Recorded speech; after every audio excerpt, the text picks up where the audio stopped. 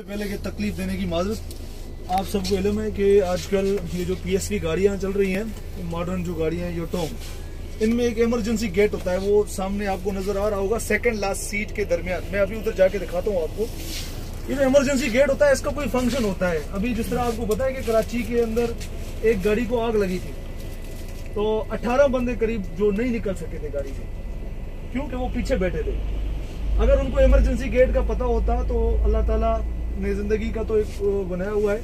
पता होता तो शायद वो कोशिश करके निकल जाते। ठीक है?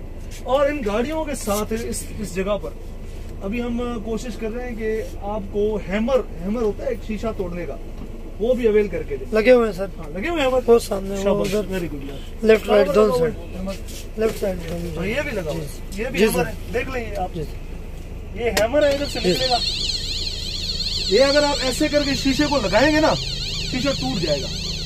धक्का देने की ज़रूरत है। ये देखिए, ये आपकी गाड़ियाँ जो, ये है ना, इस तरह की गाड़ियों में आप सफ़र करें, जिनमें सारी सहूलियात मौजूद हो। ये सेफ़ गाड़ी है आपके लिए।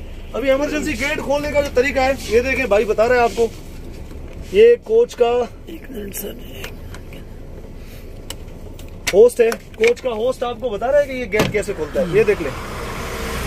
इन केस ऑफ़ इमरजेंसी आप इस बटन को नीचे कर गया ये जब भी मुसाफिर आप सफ़र करें आपका हक होता है कि आप उनसे पता कर लें कि ये गेट गेट होता है तो बंद है। और है ज़ोर जो बार बार। लगा हुआ हाँ है बस। हैमर दो तीन जगहों पर होगा। ये जी भी सर, लगाना आप सीख लिया करें अल्लाह ताला आपको अपने सफ़र पर खैरियत से पहुँचाए।